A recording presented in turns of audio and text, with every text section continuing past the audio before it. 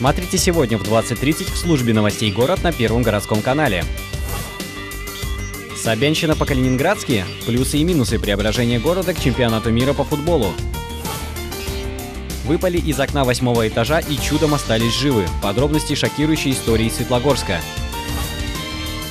Не вписался в пролет. Водитель фуры повредил одну из опор двухъярусного моста. Об этих и других новостях корреспонденты Первого городского расскажут вам сегодня в 20.30 в службе новостей «Город».